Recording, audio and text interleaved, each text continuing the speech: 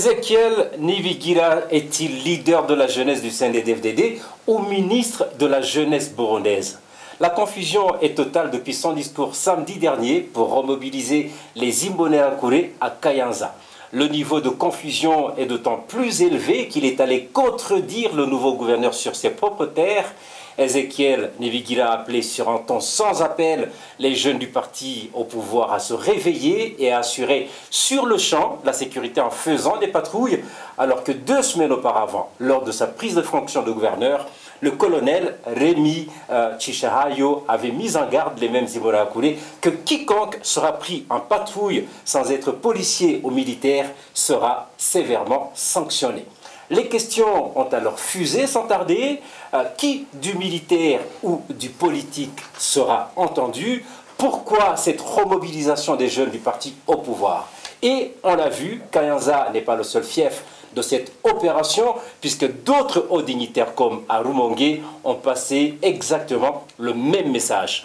Dans un contexte qui n'est pas anodin, euh, il faut le dire, euh, car c'était une semaine après une attaque armée d'envergure dans cette même province, mais d'autres attaques ont été signalées dans d'autres contrées du pays, dont Mouranvia, Boubanza et Bujumbura. Nous en parlons dans cette édition du Club de la Presse avec Thierry Biguilindavi, journaliste à la télévision Renaissance. Bonjour. Bonjour Franck. Nous sommes également avec euh, Maître Gustave Nyonzima, euh, défenseur des droits de l'homme, mais également euh, avocat des victimes des crimes commis au Burundi, des crimes de droit international. Kavi, bonjour. Bonjour Franck. À toutes, à tous, bonjour, bonsoir, bienvenue. Thierry euh, quand vous avez entendu Ezekiel Nevigila haranguer la foule avec son appel, ou plutôt son ordre, à l'endroit des Imola euh, à Kayanza, euh, quel a été votre premier sentiment? Euh, Je dirais que l'immense fut la consternation parce qu'on avait entendu le discours du gouverneur de Kayanza et je dirais que c'était un discours qui nous avait rassurés euh, que peut-être euh, dans cette province, les choses vont changer. Il n'y aura plus de patrouilles de, de, la milice Bonera-Kouré, car c'est à partir de ces patrouilles que, que cette jeunesse partie au pouvoir commettait des bavures. Hmm. Euh, je dirais... Quand, vous dites milice, c'est en fonction de la qualification des, Nations, Unies, hmm. et aussi en fonction de, des actes, des actes parlent et sont têtus, mais leur comportement, ils se comportent comme une milice. Euh, depuis, je dirais, depuis 2014, euh, leur comportement, ils avaient, euh, c'était une jeunesse instrumentalisée par les décideurs des partis au pouvoir pour réprimer toute personne de l'opposition ou supposée de l'opposition. Donc, on avait cru que avec ce discours du gouverneur de Kayanza et aussi que, que, ça va faire effet tache d'huile dans, dans, les autres provinces, que peut-être, euh, comme euh, le gouverneur, c'est une personnalité qui représente le chef de l'État dans la province, on dirait qu'on avait cru que avait c'était un ordre qui venait d'en haut, qui venait du chef de l'État et qui allait même euh, s'étendre dans les autres provinces.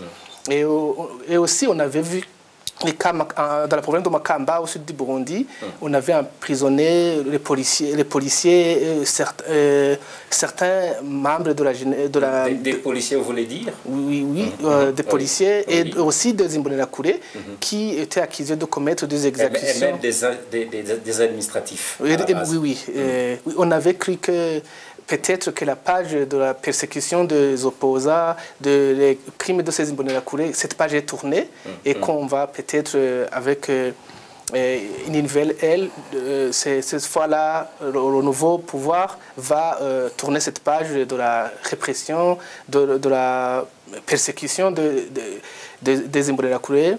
Oui, et on, a, on était déçus d'entendre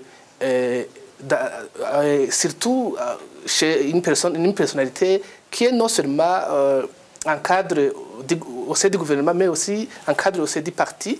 Et on dit que c'est le parti au pouvoir qui donne la ligne de conduite euh, au gouvernement. Qui, c'est, le parti au pouvoir qui décide la politique que, que, l'exécutif va mettre en application. Ce que vous oubliez, c'est que c'est un cadre du gouvernement, pas n'importe lequel, puisqu'il s'agit du ministre de la Jeunesse. Oui, Il a, il a, il a euh, en, charge la jeunesse burundaise, et de surcroît les Imbonerakure qu'il est, il a aussi été le, dirigeant de ces Imbonerakure, je, je, dirais que jusqu'en 2015, c'était lui, mmh. jusqu'en 2013 ou 2012.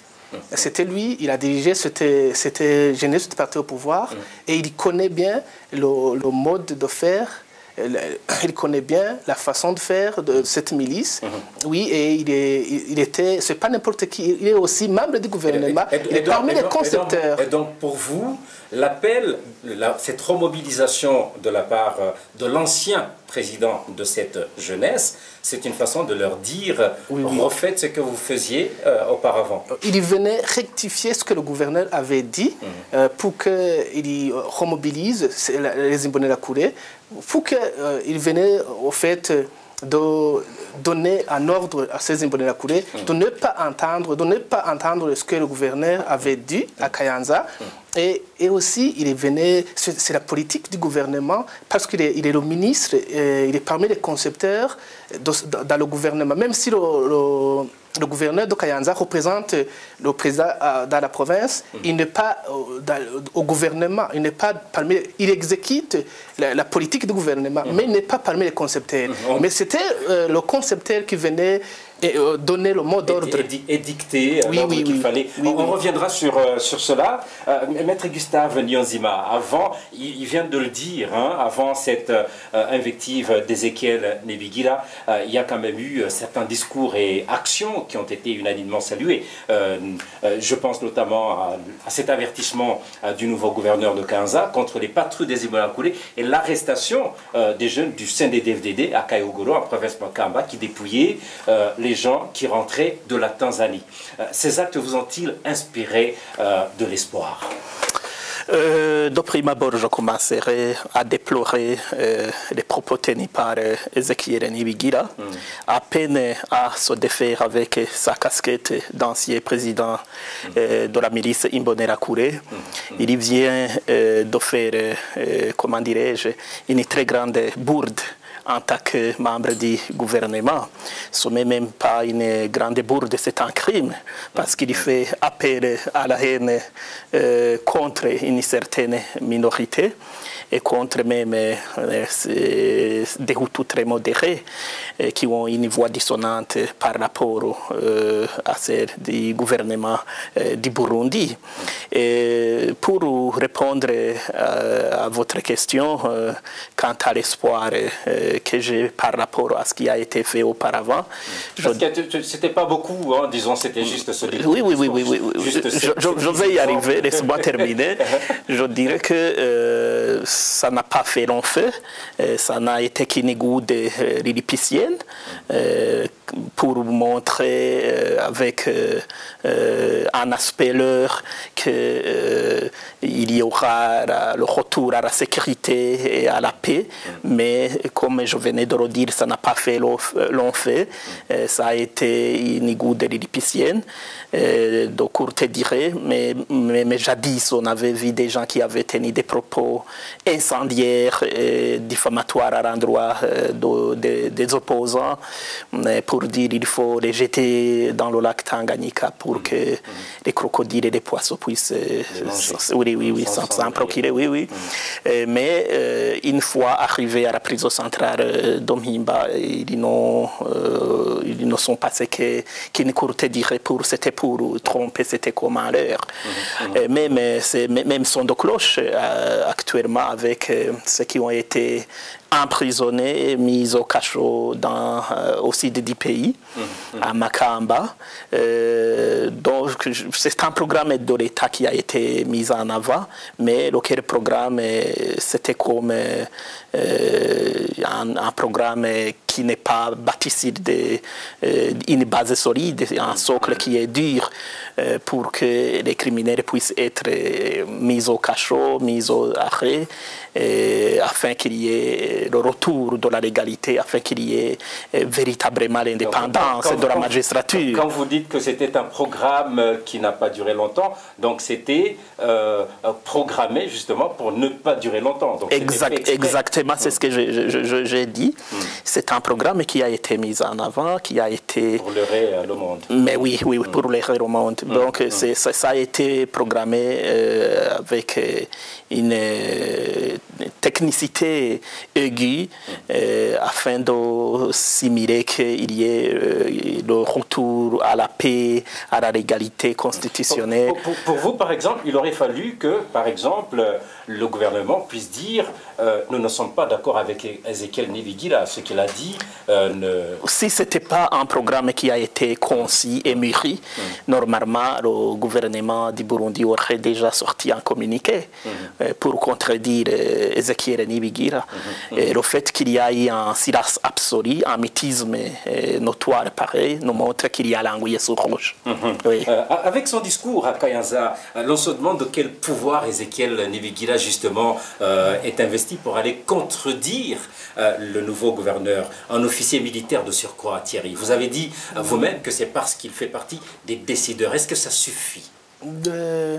Dans, dans, le système CNDFTD, euh, nous sommes habitués que tout vient d'en haut. Et il est parmi ceux qui sont en haut. Et même si le gouverneur, c'est un officier militaire, euh, il a quand même il est assez supérieur. Il, a, il, doit appliquer la politique du gouvernement de la province. Il représente le chef de l'État. Mais quand même... Sauf que quand vous dites qu'il c'est supérieur sur le plan hiérarchique, ce n'est pas le ministre de la Jeunesse, c'est plutôt euh, le ministre de l'Intérieur. Euh, il est, Ezekiel Nibigida, il est parmi le petit cercle qui décide. dans le gouvernement précédent, il était il avait en charge, il avait, il était ministre euh, euh, des Relations extérieures, des Affaires étrangères. C'est pas n'importe qui, il a dirigé. Est-ce que ce n'est pas beaucoup plus lié, euh, peut-être à son, à son, à son, à son niveau de dans le parti euh, oui, oui, certainement, que, dans le gouvernement. Oui, oui. Mm. Même si euh, le gouverneur Remy Chichahayo est un militaire, on ne le connaît pas euh, au parti. Mais mm. depuis que le CNDFDD est au pouvoir, mm. Ezekiel Niwigira était, je dirais, un cadre du parti CNDD et pas n'importe qui. L'un des piliers. L'un des piliers du parti CNDD, il a dirigé cette. il est, il est, je dirais qu'il est parmi ceux qui ont euh, dirigé, il a peut-être s'il n'est pas le premier, il est le deuxième qui a dirigé, qui a conçu euh, cette façon de faire de la jeunesse la Courée. Mm. Et tout le monde sait, que depuis 2015, c'est cette jeunesse qui était utilisée pour réprimer l'opposition, pour, je mm. dirais, il était, euh, c'était. pourtant, c'était des crimes qui étaient décriés depuis euh, bien avant 2015, mais, qui se sont. C'est euh, la jeunesse de la était devenue comme mm. le moteur du système CNDD-FDD. Mm. Il est en tant que l'un des leaders du, des Imbonerakure, mm. il a une position particulière au sein du parti. Et de surcroît, il est beaucoup plus au-dessus du gouverneur. Il est parmi les concepteurs de, de, la politique du gouvernement. Et mais, mais, mais, mais, la que... mais, une chose pareille, c'est comme une offense au gouverneur. Euh, puisque, puisque là, les avertissements euh, du gouverneur deux semaines auparavant mm. étaient publics.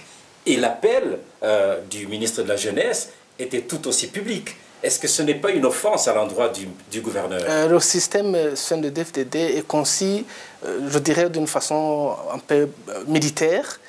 son supérieur peut le, rappeler à l'ordre comme il, comme il veut. Sinon, c'était une honte. C'était pas seulement pour le gouverneur, mais aussi pour le gouvernement tout entier. Mmh, Parce mmh. que ça a été un double langage. Mmh. Et aussi, ça, ça, ça, je dirais que c'était, ça aurait pu gêner même le, le chef de l'État, hmm. car c'est euh, en quelque sorte que ça montre que c'est pas le, centre de commandement, il n'y a pas un seul centre de commandement. Hmm. Euh, chacun fait ce qu'il veut. Euh, dans, son coin, ça montre une sorte de tâtonnement au sommet, au sommet de l'État. Et, été c'est grave. C'est pas seulement une honte pour le gouverneur, mais quand même, on a vu que le gouverneur n'a pas il n'a pas bronché. Il n'a pas bronché, il n'a pas prononcé un mot. Justement, Maître Gustave, il y a certains qui ont dit euh, le, le, colonel euh, Rémi Chichahayo, c'est un, un militaire, un officier, un haut gradé. Peut-être qu'il va même, peut-être qu'il va pas se laisser faire. Euh, vous, pensez qu'il va se taire et laisser faire et donc que les Imolakoules puissent faire les patrouilles alors qu'il avait été contre ça publiquement? Euh, et, je, disais tout à l'heure, ça peut ressembler même à une, à une offense de, à, son endroit. Il faut euh, préalablement euh, se rappeler les principes de la politique, mmh, mmh. du moins, comme disait Antoine de Saint-Exupéry, euh, le politique guide le judiciaire, guide l'économie, guide le militaire, le religieux, le sport et tout. Mhm, mhm. c'est le politique qui est au-dessus. Mhm. Donc c'est lui qui prend le pas. Mais oui, par rapport aux, gestes militaires ou à un programme pareil euh, du gouverneur de la province de Kayanza. Euh, mais néanmoins, son appel a été euh, apprécié de manière dithyrambique par euh, beaucoup, euh, même si le ministre Ezekiel Nibigia vient de le contredire de, façon indirecte. Mm-hmm. Mais pourquoi il, il le fait, Ezekiel Nibigia C'est parce que au niveau du parti, ils ont un signal. il a été le président du parti au pouvoir. Ça suscite beaucoup, comme je venais de le dire, il y a un programme président de la jeunesse du parti au pouvoir. Mais oui, mais oui il y a un programme de l'État mm. Mm. euh, qui a été conçu euh, afin que euh, les Imbonera qui, qui sont un outil de la répression du pouvoir en place puissent l'exécuter. Et aussi, si Ezekiel fait cet appel à la haine, c'est parce que ces Imbonera connaissent parfaitement ce signal déjà et mis au niveau du parti. Vous, vous voulez dire qu'en écoutant écoutant le message du gouverneur, ça serait comme dévier de la voie tracée par le parti?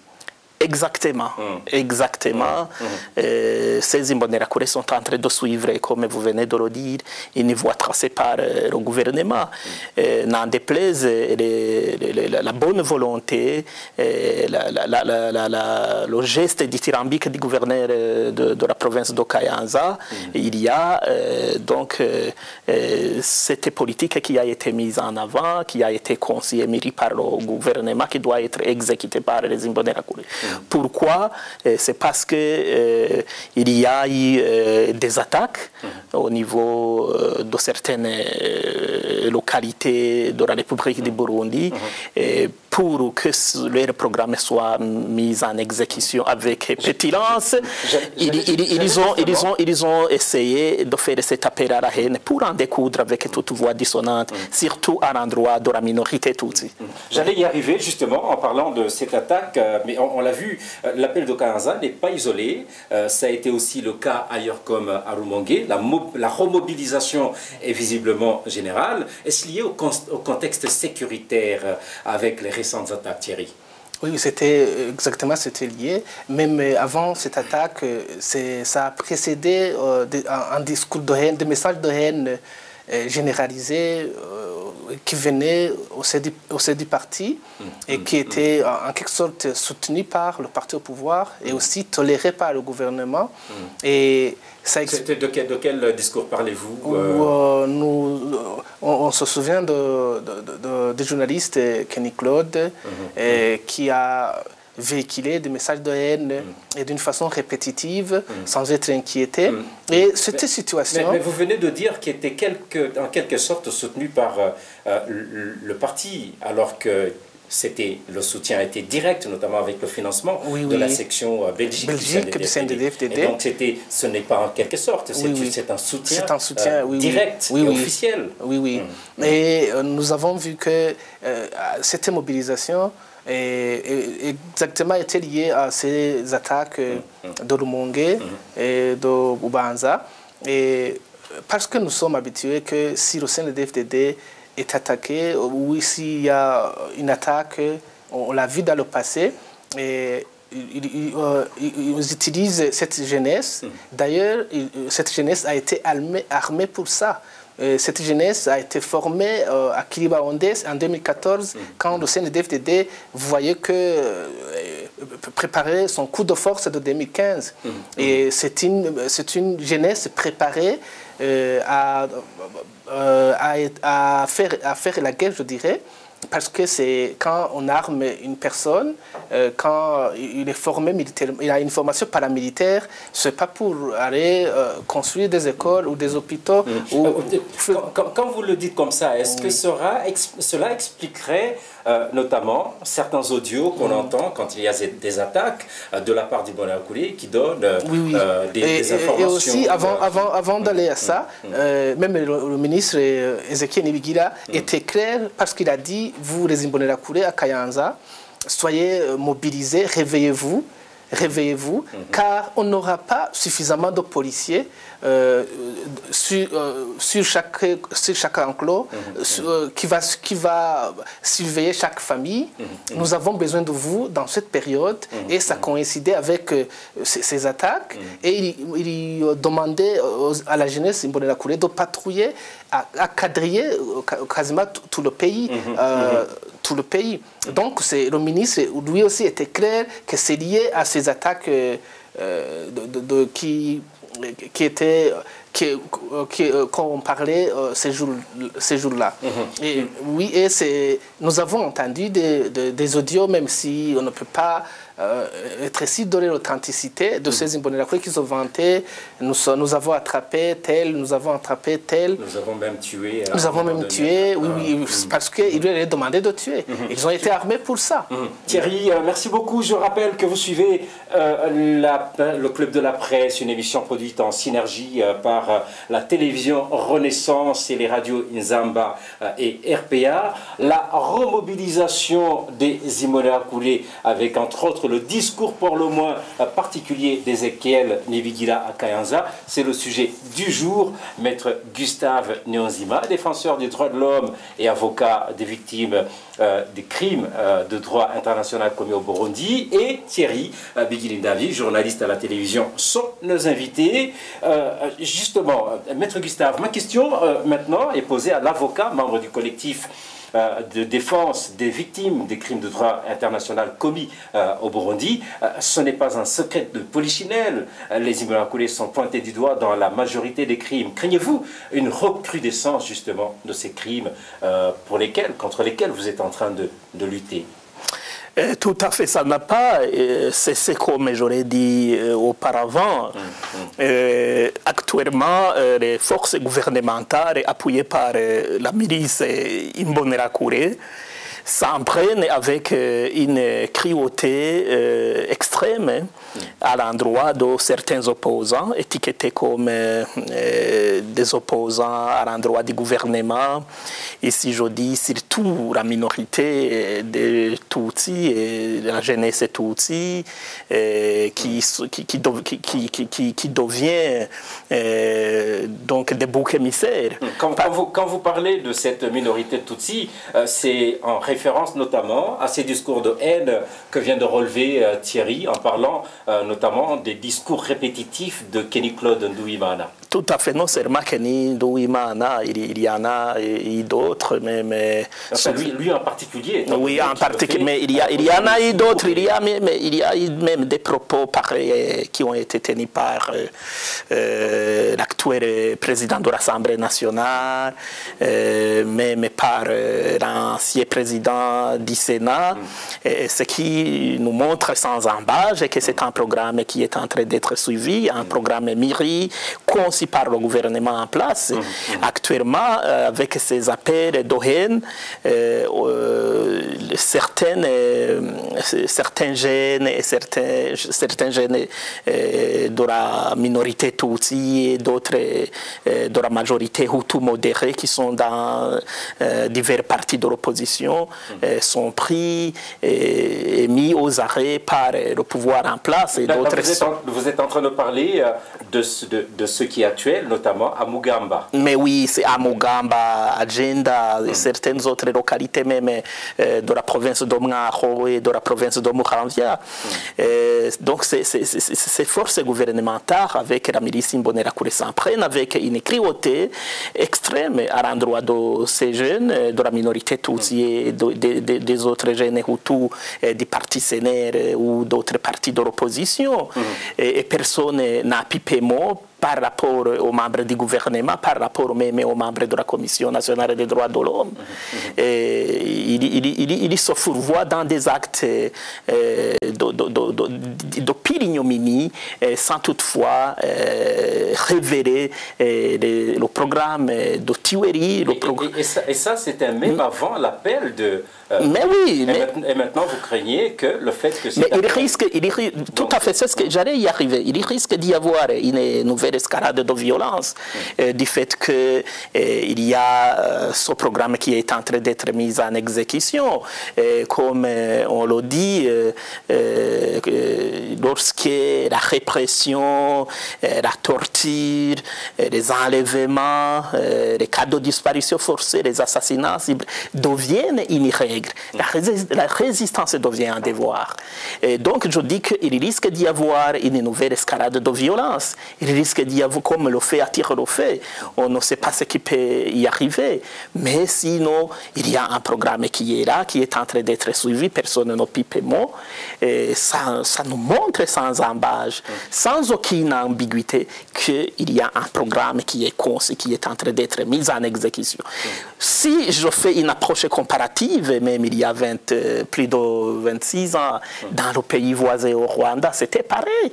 Il y a eu des appels de Roméo Darer et d'autres organisations de la défense des droits de l'homme pour alerter la communauté internationale. Mais cette dernière n'a assisté impuissamment au, forfait, au chaos, au génocide. C'est ce qui risque de se passer chez nous. Mais quand, euh, vous parlez, quand vous parlez de résistance, de quelle résistance parlez-vous et qui pourrait résister? Mais c'est tout le peuple est, pris du respect de la loyauté, est pris du respect d'être défendu, mm. et, pris du respect parce que toutes les personnes naissent libres en droit et, en dignité. Lorsqu'il y, a, qu'il y a des inégalités. C'est en théorie. Mais ce n'est pas en théorie, mm. c'est déclaré par la, Déclaration universelle des droits de l'homme, le pacte international relatif aux droits civils et politiques, et par la Constitution. Ce n'est pas du tout théorique. Mais oui, mais oui, c'est-à-dire que tous ceux qui sont en train d'être malmenés, qui sont en train euh, d'être tués comme des mouches, et probablement qu'il y aura, y aura une escalade nouvelle de violence inhérente à une résistance euh, de, toutes les forces vives de la nation. On ne sait jamais. Mhm. Euh, Thierry, nous sommes aussi dans un contexte d'appel au retour des réfugiés. ces attaques et la remobilisation des Immaculés peuvent-ils affecter le mouvement de retour euh, Certainement, euh, c'est que ça affecte le mouvement de retour parce que euh, les, réfugiés burundais, dernièrement, dernièrement, qui sont rentrés du camp de Mahama, ils expliquaient qu'ils donnaient le bénéfice de doute au nouveau pouvoir à, à Gitega. Mais quand même, comme venait de le dire Maître Gustave, cette spirale de violence est déjà là. la semaine dernière, est-ce qu'il y a combien, il y a eu combien de morts il y a combien de personnes arrêtées Combien de disparus, combien de disparus mhm. Et, tout, tout, cela, euh, nous sommes euh, au XXIe siècle, même mhm. euh, dans les camps des réfugiés, ils, reçoivent ces, mauvaises nouvelles et ça, les affecte. Il faut, il faut, il faut, il faut dire que euh, le premier convoi a eu lieu euh, le jeudi, et donc trois jours avant les premières attaques à Rumongue. Oui, oui. Mm. Mais euh, c'est. Et, avant, et avant le convoi, était déjà, le convoi était déjà prévu. Mm. des personnes s'étaient déjà fait inscrire mm-hmm. avant même qu'il y, ait cette flambée de violence au mm-hmm. Burundi. Et les gens ont foncé. Mais ça, ça paie et, euh, je dirais, ça peut euh, négativement euh, impacter toute personne, les personnes qui sont en exil et qui souhaiteraient rentrer. cette flambée de violence n'est pas du genre à les tranquilliser, à les rassurer. vous savez, Franck, que si une personne est en exil, euh, il, pas, il, il, ne s'est pas rendu, euh, il, ne, s'est pas rendu en vacances. Mhm. Il n'est pas là, il est forcé de, il a été forcé d'être en exil, mhm. mais c'est pas son, son choix. Mhm. son, son, souhait, euh, je dirais, son souhait, son souhait c'est de rentrer, de retourner au Bercail, de, de, de, se rapatrier. Mais quand même, il doit être rassuré sur sa sécurité. Euh, toutes les personnes qui ont fui le pays, ils ont fui la mort euh, certaine, quasi certaine, mm. car il y a beaucoup de personnes qui ont été tuées, mm. euh, qui, étaient en chemin même à la, sur le chemin de l'exil, et qui ont été tuées. Mm. Et pour, être, pour avoir ce sentiment, d'être rassuré sur la sécurité qui est au Burundi. Euh, ces, nouvelles de cette nouvelle flambée de violence n'est pas déjà rassurée. Nous sommes en train de parler des conséquences sur le retour des réfugiés. Oui, oui il pourrait également y avoir euh, des conséquences sur les Burundais eux-mêmes qui sont oui, à l'intérieur. Oui, euh, ce qui risque, c'est une autre vague d'autres Burundais mmh. qui fuient, qui, prennent le chemin de l'exil. Mmh. Et euh, on, a, même entendu qu'à Musigati, il y avait des centaines de personnes, des habitants de, qui, qui, qui, habitent, des, des habitants du des collines, mhm. qui des collines avoisinantes de, la forêt de Kibira qui, qui avaient fui à l'intérieur du pays, mhm. au chef-lieu de la commune. Mhm. toutes ces personnes, je pense que c'est avec ce contexte de Covid-19, c'est ce contexte qui n'a pas permis à ces personnes de, de, traverser la, frontière, et d'aller de l'autre côté au Congo. Merci beaucoup. Euh, nous sommes dans les conséquences et euh, pratiquement vers la fin de cette euh, édition. Vous déplorez cette remobilisation euh, mais dans le même temps, cela fait l'affaire de l'avocat euh, des victimes que vous êtes. Euh, cela ne peut-il pas constituer une preuve en cas de perpétration des crimes suite à ces appels, Maître Gustave Tout à fait. On voit qu'il y a des tueries, qui se commettent au jour au jour de façon sempiternelle. le gouvernement du Burundi dit qu'il y a le retour à la paix, qu'il n'a pas plus besoin euh, de la commission onisienne de, qui a été mise en place pour voir les crimes qui ont été commis depuis 2015. Mhm, le gouvernement n'aimerait pas euh, euh, qu'il y ait le renouvellement de cette commission. Le, mandat de, la commission. Oui, des enquêtes, oui, oui, oui, Alors qu'il y a un hiatus, il y a une vague de violence au Burundi, mais aussi on voit certains euh, membres du gouvernement qui font euh, appel à la haine, euh, ça nous montre qu'il y a, comment dirais-je, des réalités potentiellement contradictoires. Mmh, mmh. Une avec une vague de violence avec euh, certaines personnes qui sont ciblées, comme on en a vu depuis 2015, mhm. avec aussi une autre réalité où le gouvernement argue euh, sans embâche qu'il y a eu le retour à la paix.